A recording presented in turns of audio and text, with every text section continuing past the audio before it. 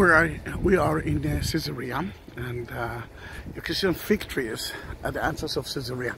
A fig tree is mentioned in the Bible, and Adam and Eve.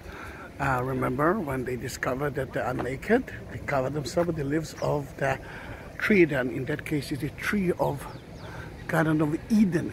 In a way, you can see why I'm taking a picture, a video of it because it's the beginning of it. I mean, you can see that it's actually started to flourish now.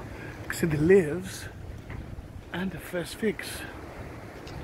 And it's so beautiful to see it like that.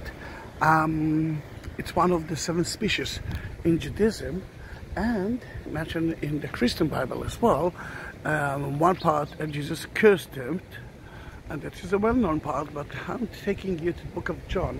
And Nathaniel was sitting beneath a fig tree and um, and King and, Jesus came to him and say, "I know that you are one of the Israel people," uh, and by that he meant you're sitting next to the tree, and what you're thinking is about the Bible.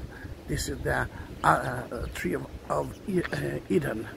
Then, in that case, here it is, fig tree, and you can see the first figs.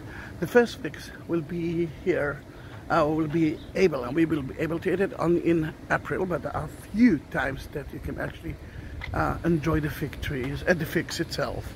But here it is, look how beautiful it is. Fig at Caesarea, city that built by King Herod. March 2020, coronavirus time.